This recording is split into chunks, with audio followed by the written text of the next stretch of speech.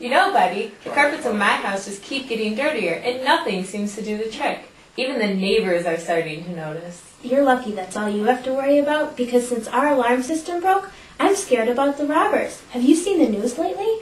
If you're like Abby and Betty, then the new hottest item for both housekeeping and home security is for you. Introducing the new Torch Vac, a revolutionary way to clean and keep safe. Our revolutionary vacuum cleaner will take out dirt like none other, leaving your house a sparkling paradise. The only thing the Torch Vac is harder on than dirt is lawbreakers. Just watch Betty protect herself against this pesky intruder. Give me your TV and your money. And I heard Crazy White Oh! Just flip this easy switch and decide whether to go hard on dirt or hard on lawbreakers. You choose. A flamethrower and vacuum for the price of one. It works. It works! Yeah, it worked. There are so many ways to use your torch vac. The possibilities are limitless.